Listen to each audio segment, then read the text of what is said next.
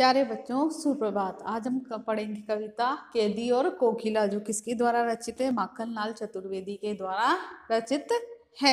सबसे पहले हम पढ़ेंगे माखनलाल चतुर्वेदी का जीवन परिचय, यानी इनका जन्म अठारह सौ नवासी में मध्य प्रदेश के होशंगाबाद ज़िले के बाबई नामक गाँव में हुआ था। सोलह वर्ष की अवस्था में ही क्या बन गए थे? शिक्षक बन गए थे। लेकिन इन्होंने शिक्षक का यानी अध्यापन का कार्य छोड़कर प्रभा नामक पत्रिका का संपादन किया। इसके साथ ही इन्होंने कर्मवीर और प्र- प्रताप नामक पत्रिकाओं का भी संपादन किया।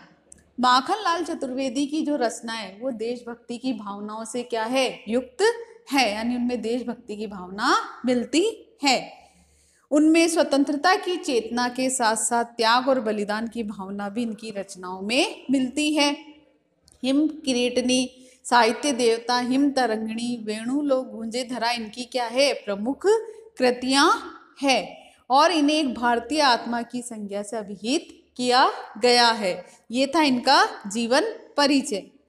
अब है पाठ परिचय, जो कविता है, केदी और कोकिला। इसमें क्या है? भारतीय स्वाधीनता सेनानियों को क्या कर दिया गया है? अंग्रेज़ों ने जेल में बंद कर दिया गया उनके साथ जो दुर्व्यवहार किया जा रहा है, उन्हें जो यातना या दुख दिए जा रहे हैं, उनका ही उन्होंने बड़ा मार्मिक चित्रण किया है इस कविता में।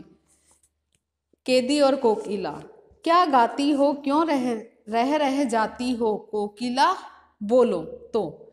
क्या लाती हो? संदेश किसका? कोकिला बोलो तो। यानी कि क्या है? जो स्वतंत्रता सेनानी है, जो कवि वो कहाँ कैद है? जेल में कैद है। तभी रात्रि में क्या होती है? जेल के ऊपर कौन मंडराने लगती है? कोयल मंडराने लगती है और बोल, फूकने लगती है। क्या गाने लगती है? क्या गाती हो? क्यों रह जाती है? तो जो कह कवि है, जो कोयल से कहते हैं कि तुम जेल के ऊपर रहकर इतनी रात में क्या गा रही हो? रह, रहकर क्या तुम गाती रहती हो? क्या परेशानी है? कोयल, बोलो। क्या लाती हो संदेश किसी का? क्या तुम हम स्वाधीनता सेनानियों के लिए किसी का क्या लाई हो? संदेश लेकर आई हो तो कोकल, कोयल? बोलो। काली ऊँची दीवारों के घेरे में, डाकू चोरों बटमारों के डेरे में, जीने को देते नहीं पेट भर खाना, मरने भी देते नहीं, तड़प रह जाना। जीवन भर अब दिन रात कड़ा पहरा है, शासन है या तमका प्रभाव गहरा है। हिमकर निराश कर चला रात भी काली, इस समय काली।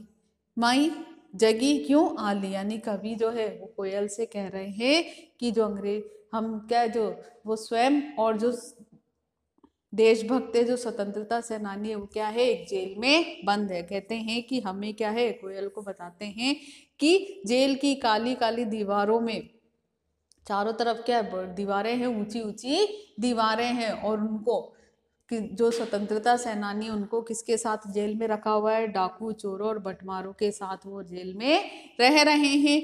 जीने को देते नहीं पेट भर खाना, ना ही उन्हें जीने के लिए क्या पेट भर भोजन भी नहीं मिलता है।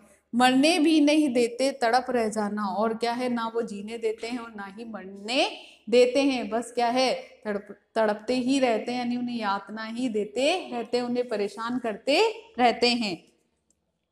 जीवन पर अब दिन रात कड़ा पहरा है और उन पर दिन रात जो स्वतंत्रता सेनानी है, उन पर क्या है? दिन रात अंग्रेज़ी अंग्रेज़ी सैनिकों का क्या रहता है? दिन रात कड़ा पहरा रहता है। शासन है या तम का प्रभाव? इस अंग्रेज़ी शासन का जो प्रभाव है, वो किसके समान है?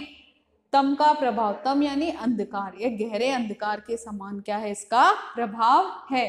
हिमकर निराश चला, चंद्रमा भी क्या हिमकर? यानी चंद्रमा भी क्या है? निराश करके चला गया। चली रात काली भी और काली रात भी क्या है? चली गई है।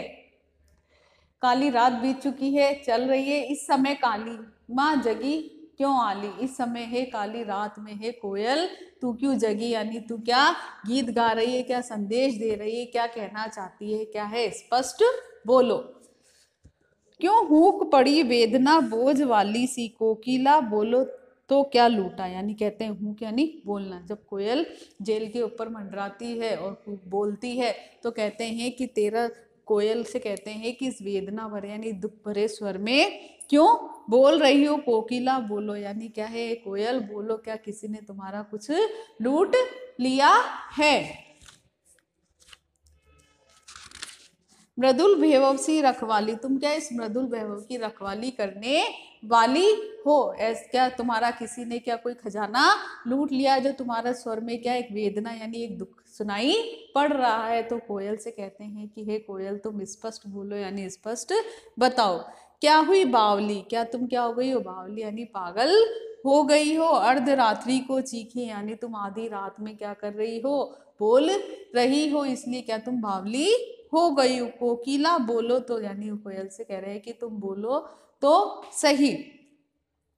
किस दावन, किस दावानल की ज्वालाएँ दिखी कोकिला बोलो तो दावानल यानी जंगल में लगने वाली आग, यानी जंगल में लगने वाली आग की क्या है? तुमने लपटे देख ली है और तुम इतनी आधी रात को क्या कर रही हो? चीख रही हो, यानी कोकिला बोलो, यानी क्या तुम क्या कहना चाहती हो? तुम स्पष्ट बोलो।